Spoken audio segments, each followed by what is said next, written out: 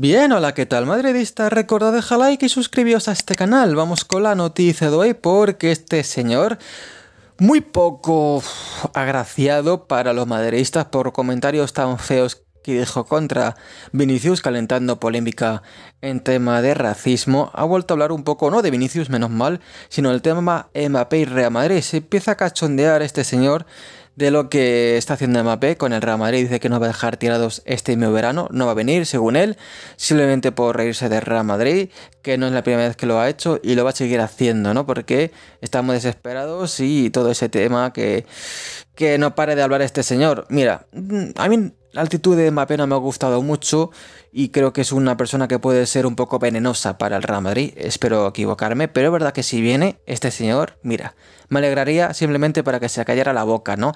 Y el Madrid pudiera ganar muchas cosas si este señor se tuviera que esconder en la cueva junto a otros tertulianos del chiringuito como J. Jordi y Cristóbal Soria, ¿no? Ojalá eso sería lo más bonito, sinceramente, este señor que tiene que ser despedido del chiringuito, que es algo que siempre pido.